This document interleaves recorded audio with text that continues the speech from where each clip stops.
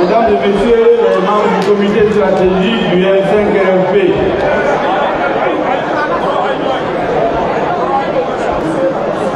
Maliennes et Maliens de l'intérieur et de la diaspora. À l'occasion de l'an 2 du M5RFP,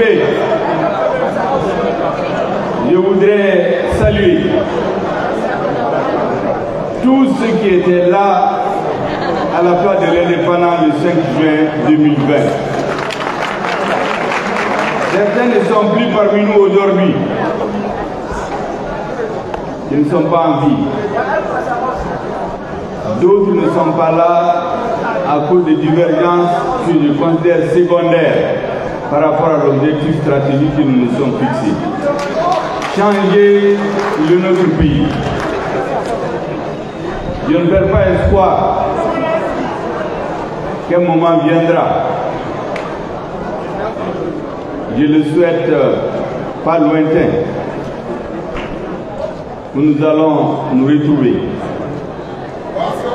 Comme hier, où des hommes politiques, des organisations de divers bords politiques, idéologiques, de parcours parfois contradictoires, sinon antagonistes, se sont retrouvés pour sauver le Mali.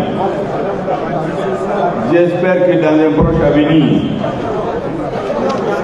les Maliens et Maliens de tous bords se retrouveront encore pour renforcer, pour accélérer la cadence du changement et de la refondation. Je voudrais vous saluer de la part des militants de Bougouni. Vous savez, je viens d'arriver de Bougouni directement ici. Une activité du gouvernement m'y a conduit. Et certains se sont plaints, je préfère le dire au comité stratégique, que vous aurez pu célébrer cet anniversaire à Bougouni ou dans toute autre ville de l'intérieur. Donc en tenez compte pour la prochaine fois. Je voudrais saluer la mémoire de toutes les victimes de la crise multidimensionnelle que notre pays vit. Priez à leur mémoire. Priez à la mémoire de ceux qui ont donné leur vie pour que la lutte du M5 aboutisse. Je voudrais saluer de façon particulière les officiers patriotes qui, au nom des forces armées de sécurité, arrêté la marche vers le chaos qui s'annonçait sous les changements intervenus. Ils l'ont fait au nom de toutes les forces armées de sécurité. Comme tout processus politique, c'est comme un enfant, il y a eu une crise de croissance, des incompréhensions au départ. Et à la base de ces incompréhensions, peut-être le M5 ou certains du M5 aussi joué. Mais tout compte fait, à partir du 24 août 2021, le jour de la rectification, je pense que les forces armées de sécurité se sont définitivement réconciliées avec le peuple malien.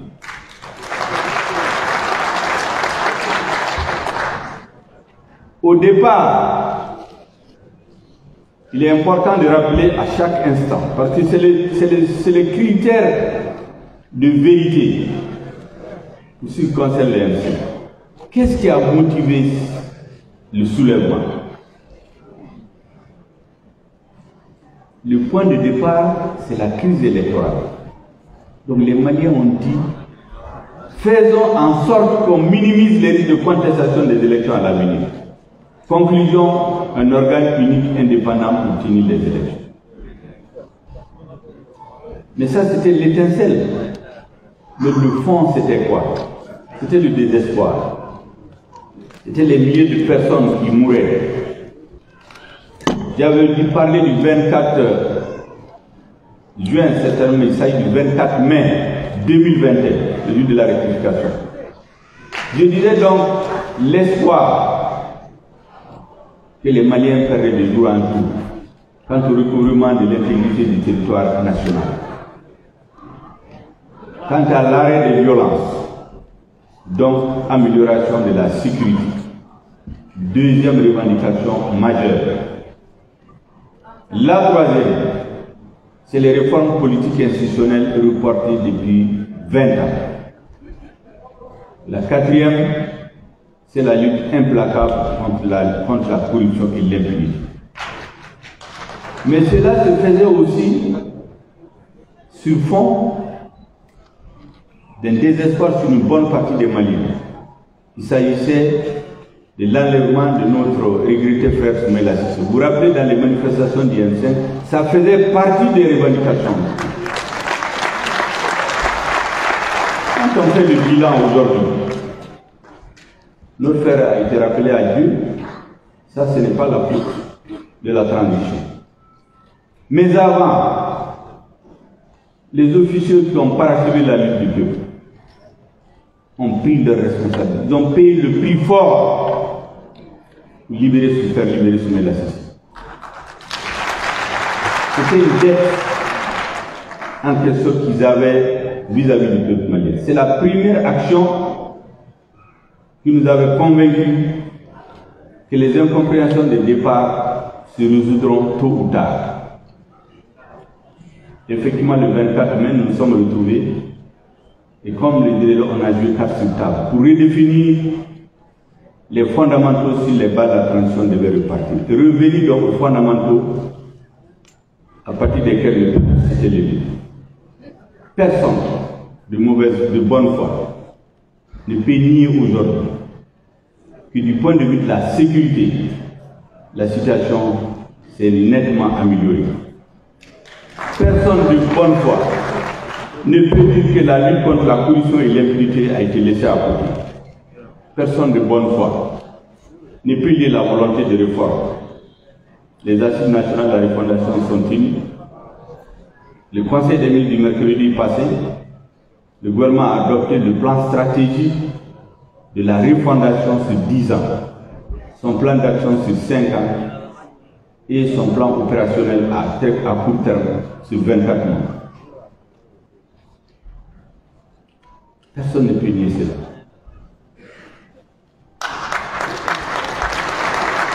Et donc, quand vous prenez les objectifs de départ, tout pas rose. Mais quand vous prenez le contexte international dans lequel la rectification a travaillé depuis un an, il y a des actes fondateurs, des actes stratégiques de la restauration de la dignité du Mali, de l'indépendance de décision de notre État, de sa souveraineté, qu'on ne peut pas voir tabler une calculaire. Ça n'a pas de prix. Personne de bonne foi ne peut le nier aujourd'hui. Personne ne peut nier que les Maliens ont retrouvé le sentiment de fierté de la risée du monde il y a quelques années, certains se moquaient de notre armée, aujourd'hui tout le monde, il ne se trouve pas une seule personne de bonne foi au Mali qui ne vous parle pas de la montée en puissance de l'armée. Et donc au total, quand vous prenez les objectifs de départ, et ce qui a été engrangé en un an, je pense que les militantes et les militants du M5 doivent être fiers des résultats obtenus. Mais cela ne peut pas se faire avec le M5 seul. Le M5 a eu un partenaire fiable. Ceux qui ont agi, ont parlé, ont décidé au nom des forces armées de sécurité. Je veux dire le président de la transition et ses compagnons. Les ne peut pas réussir seul sans l'accompagnement du Conseil national de transition, avec à sa tête l'honorable colonel Malik Diaw. Faut rendre à César ce qui est à César. sans l'accompagnement du Conseil national de transition, notre tâche aurait été impossible. Je comprends souvent dans les débats politiques, au Mali, souvent les contradictions, on les transforme vite en antagonisme. Or, la politique ne peut pas aller, la vie même ne peut pas aller sans contradiction. Récemment, le fait que le CNT exerçait sa mission légale de contrôle de l'action gouvernementale en demandant au Premier de venir expliquer qu'est-ce qu'il a fait du mandat qui lui a été donné. L'ont interprété comme une bagarre au niveau des institutions. Nous ne l'avons pas perçu comme ça. Au contraire, ça donné l'occasion au gouvernement de s'expliquer et au Conseil national de transition de jouer son rôle. Certains reviennent souvent sur ce qui nous avait opposé au départ. Je pense que les choses ont été très claires. Nous sommes des hommes d'honneur. Et nos partenaires aussi sont des hommes d'honneur. Le jour où nous nous retrouvons pour retracer la trajectoire de la transition, c'était entendu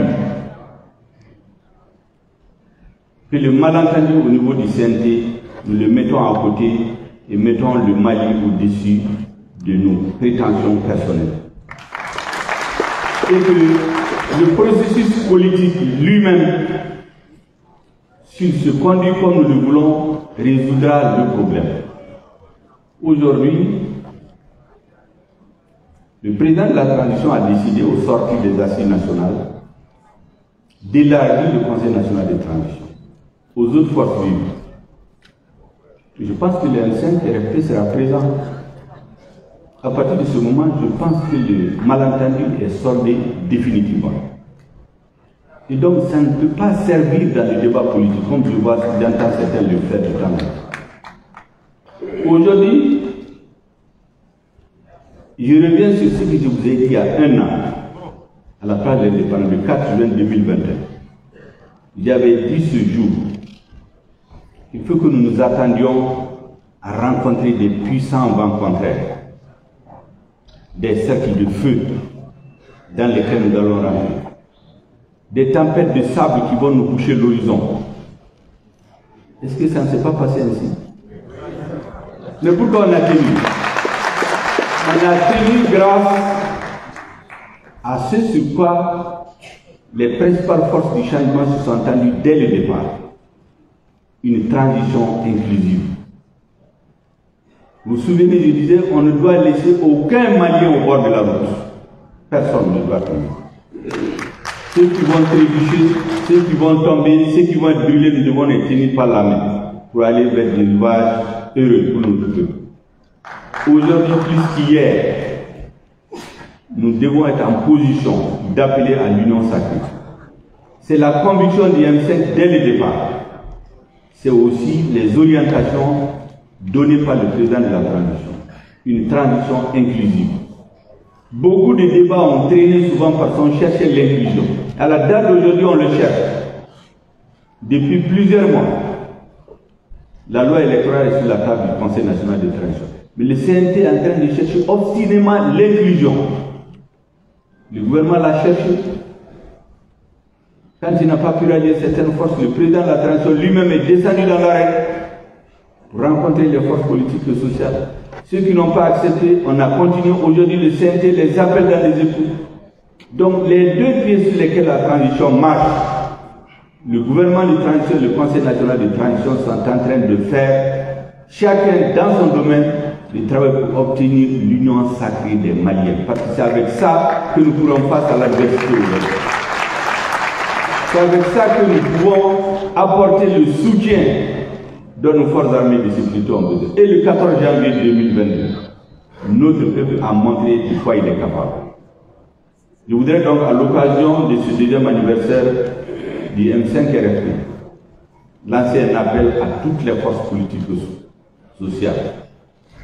Quel que soit ce qui nous a opposés avant le 18 août, nous sommes tous des Maliens, on se retrouve pour sauver l'essentiel. À partir du moment où aujourd'hui, je pense que personne ne discute plus le fait que la transition ne peut plus se ramener seulement aux élections.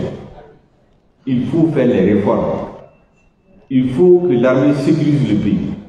Il faut que la lutte contre la corruption et l'impunité atteignent un point de non-retour. À partir de ce moment, je pense que grand chose ne nous divise plus, sauf des problèmes personnels. Ça, nous devons mettre le Mali au-dessus de Je voudrais saisir cette occasion pour saluer la société civile malienne. Cette transition n'aurait pas réussi. Les réformes n'auraient pas réussi si la société civile, dans toutes ses composantes, n'avait pas décidé de soutenir la transition. Je voudrais saluer les syndicats, parce que beaucoup de choses ont été faites et d'autres choses seront en cours encore pour que les syndicats rentrent en conflit avec le gouvernement. Le gouvernement a fait tout ce qu'il peut et il va continuer à le faire. On n'a jamais vu un pays en guerre. Pendant la guerre, on diminue les salaires. Au Mali, c'est pendant que nous sommes en guerre que le gouvernement a consenti plus de 220 milliards pour améliorer les conditions de vie des travailleurs. Vous savez, l'homme, dès qu'il a atteint quelque chose, l'homme vit d'espoir. Donc ce qui est acquis, c'est normal que les syndicats se battent toujours pour un mieux-être. Ça, c'est la nature des syndicats. Certains voudraient transformer cela en une opposition, en antagonisme entre les syndicats et le gouvernement. Et les syndicats n'ont pas joué, dans leur grande majorité, n'ont pas joué ce jeu. Vous vous souviendrez, lorsque l'embargo a été déclaré, déstabiliser les institutions de notre pays, tous les syndicats ont dit, même ceux qui avaient des mots d'ordre graves, ont tous suspendu. Je voudrais saluer le monde syndical et lui demander de continuer à appuyer la transition. Parce que c'est à la fin de cette transition que nous pourrons redresser notre pays et l'ensemble des revendications de tout genre seront remises sur la table. Ça fait deux ans, deux ans, que notre pays vit de ses propres ressources internes. Beaucoup pensent que ce n'est pas possible Ça fait deux ans que nous avons équipé notre armée, plus que les 30 dernières années réunies. Ça fait depuis un an, depuis la grande offensive déclenchée le 28 décembre, que notre armée a détruit l'essentiel des sanctuaires terroristes. Pourtant, c'est les mêmes hommes il y a quelques années, on disait qu'ils fuyaient, on disait qu'ils ne pouvaient rien faire. C'est les mêmes hommes, c'est le même pays. Qu'est-ce qui a changé? Le leadership. On a eu un chef suprême des armées qui a une claire conscience que le principal outil d'exercer la souveraineté de l'État, c'est les forces armées de mis au centre des préoccupations du gouvernement. Et le fait qu'il y ait l'unanimité aujourd'hui sur ça, c'est déjà un atout. Il y a beaucoup qui se moquaient de l'armée il y a quelques années. Les mêmes aujourd'hui, quand ils prennent la parole, même quand ils sont contre la tradition, ils disent oui, euh, l'armée monte en puissance, mais ailleurs ça ne va pas. Mais ils oublient que le gouvernement, c'est un tout. Le Premier ministre ne dirige pas un département, le Premier ministre coordonne le travail gouvernemental.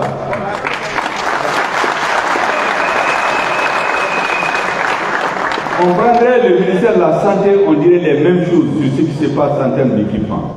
On vient de parler de Madame le ministre de l'Emploi et la fonction publique, les ministres de l'Éducation, les femmes qui sont dans le gouvernement, qui font honneur aux femmes maliennes.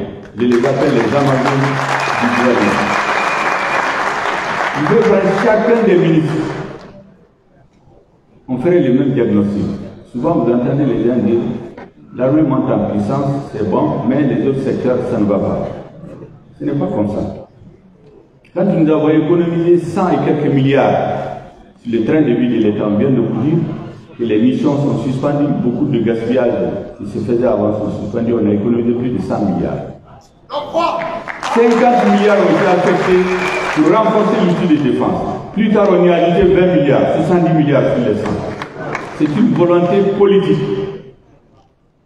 Parce que nous sommes conscients, le président de la transition en tête, que aussi longtemps que nous n'aurons pas changé, les rapports de force militaires sur le terrain, aucune réforme n'est possible. Et donc, il y a les priorités. Je voudrais donc saluer les M5. Et comme je dis, il y a une crise de croissance. Tous les mouvements sont comme ça. C'est comme les organismes, c'est comme les enfants. À un moment donné, il y a des malentendus, il y a des bagarres. Je souhaite, et c'est l'appel que je lance à tout le monde, tous ceux qui, pour une raison ou autre, ont quitté les M5, sont fâchés, sont découragés, sont même déçus. Il faut qu'on leur tende la main. Il faut aller vers eux, parler avec eux. Je suis convaincu que ce qui nous divise est infiniment plus petit que ce qui nous a unis le 5 juin 2020. Ça, c'est le travail que le comité stratégique doit faire. Et vers les autres forces qui ne sont même pas, parce qu'aujourd'hui, les Maliens ont dépassé l'organisation. C'est l'esprit M5 aujourd'hui. Et cet esprit-là, tous les Maliens se sont appropriés. Donc, tous ceux qui sont d'accord, tous ceux qui sont d'accord avec l'investissement massif pour sécuriser le pays, tous ceux qui sont d'accord pour faire les réformes politiques et institutionnelles, tous ceux qui sont d'accord pour amener à son terme la lutte contre la corruption et l'impunité, tous ceux qui sont d'accord pour qu'on organise des élections transparentes, avec les outils légaux qu'on doit avoir. Tout ceci aujourd'hui, c'est des forces du changement. Même ceux qui n'étaient pas au M5. Donc nous devons ouvrir les portes largement pour que dans un grand mouvement d'ensemble, notre peuple qui aujourd'hui fait face à une certaine adversité, on avait prévu de faire tomber le gouvernement en 10 jours. Grâce à la capacité de négociation et de discussion du président, nous sommes presque arrivés à terme. On était à deux doigts de conclure un accord. Un grain de sable est venu perturber la machine. Certains ont pensé qu'en réalité, après avoir cherché à punir notre peuple, certains veulent l'humilier. Mais en fait, ils ne connaissent pas le peuple malien. Chaque fois chaque fois qu'on a porté atteinte à son honneur, sa dignité, il a retrouvé les ressources internes pour se relever. Je pense que les Maliens doivent faire preuve de patience et faire confiance aux capacités de négociation du président de la transition, au respect qu'il a aujourd'hui au niveau du monde, malgré un certain narratif. Nous devons le soutenir que ce qu'il arrive à conclure avec ses homologues, que le peuple malien l'endosse et sur sa destinée sans hésitation pour restaurer l'honneur, la dignité, l'indépendance, la souveraineté, l'unité de notre peuple à la fin de la transition. Maliendo, mais kuma dama dama fo bamanakana pour que ka résumer. Nko M5 militant minnu tora kɛlɛ in an ka dugawu k'u ye an ka dugawu kɛ an ka victime bɛɛ crise in kɔnɔ finitigiw ani civil k'a fɔ M5 militant ni responsable minnu tɛ yan bi an kun bɛ ɲɔgɔn fɛ le 5 juin 2020 bi ma caman tɛ yen dɔ dimina. Dɔw yɛrɛ banana. Dɔw yɛrɛ sara. An kan ka ko bɛɛ kɛ M5 pour que kan parce que a ye kɛlɛ min daminɛ don min a y'a daminɛ mɔgɔ minnu ye ɲɔgɔn sɔrɔ M5 kɔnɔ politiki sira idéologie sira la u kun kelen mais o don u farala ɲɔgɔn kan ka mali sauver situation min na Mali mago unité nationale. Union sacrée. Kabini rectification kɛra le 24 mai 2020 président de la transition ne on doit tout faire pour avoir l'union des Maliens o de y'a rencontre ministre ye rencontre caman kɛ an sera an na président y'a ta a bi gouvernement conseil national de transition le président du conseil national a nana ka membre u fana y'u ka baton de lamɛn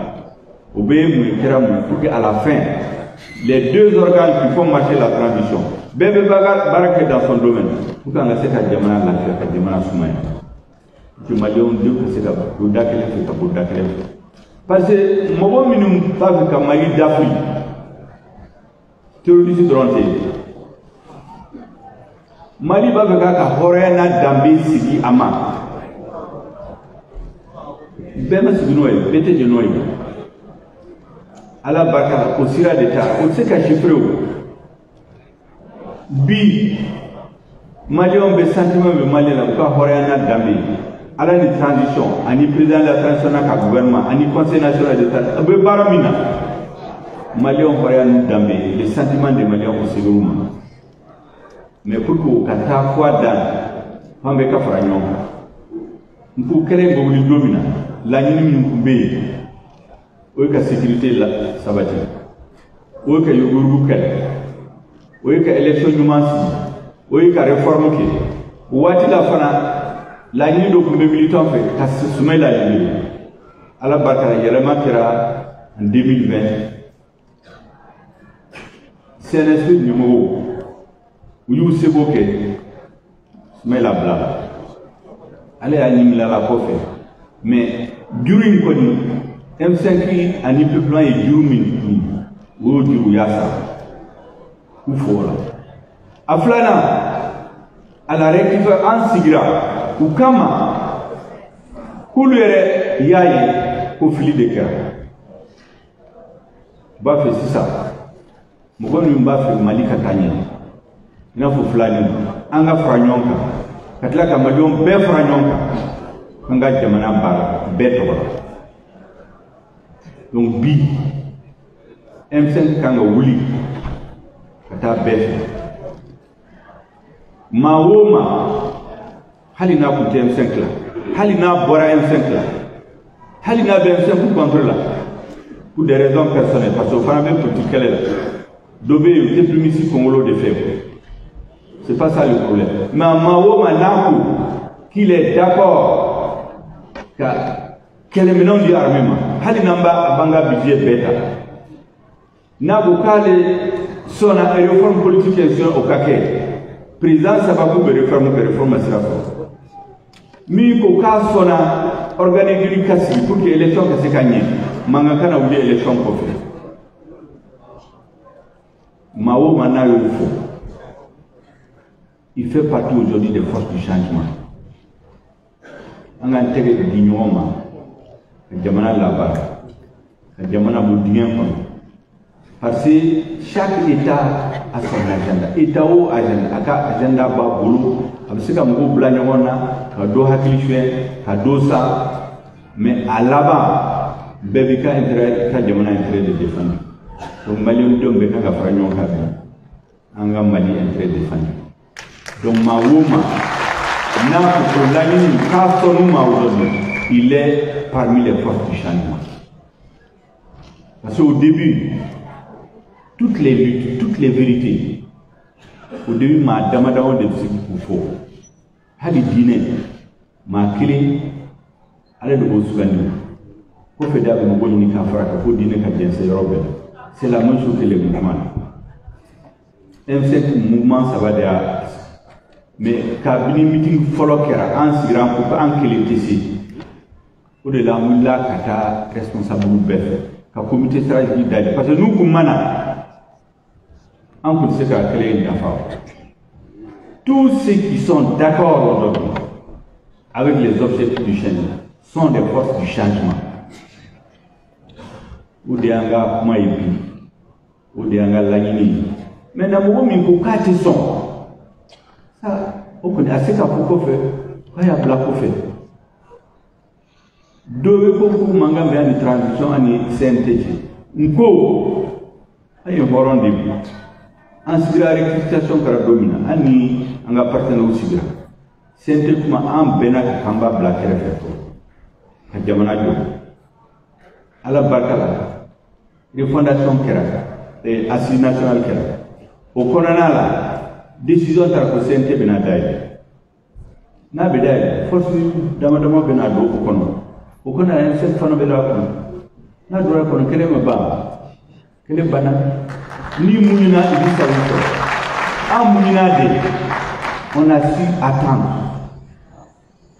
il y a un moment on a fait la traversée du désert maa caman tun tɛ dalen tɛ kelen in na denmisɛnnin dara la an tora la fo ala ye tiɲɛ bange o tiɲɛ bangera fila ni fila ye ɲɔgɔn sɔrɔ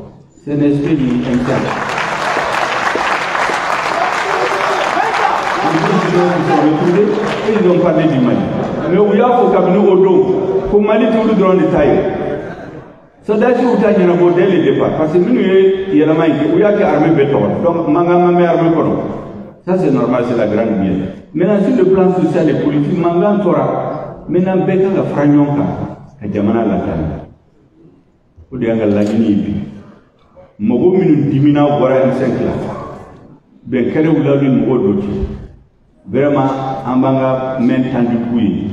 An ka segin ka fara ɲɔgɔn kan. Parce que min min bɛ a ɲɛ min ban ye a bɛ maliyɛnw bɛɛ la. Hali minnu kun tɛ M5 la fiyewu. N'u ko bi k'u sɔnna min bɛ ka kɛ. An ka fara ɲɔgɔn kan jamana kan. Parce que an tile tɛ donc kumafɔ min bɛ ka fɔ ye de ye. Et l'année prochaine j'espère qu'on sera en train de préparer les élections. Et il y aura des candidats qui vont venir demander le soutien du M5 ou des forces du changement parce que le pays aura été sécurisé et la paix sera Merci.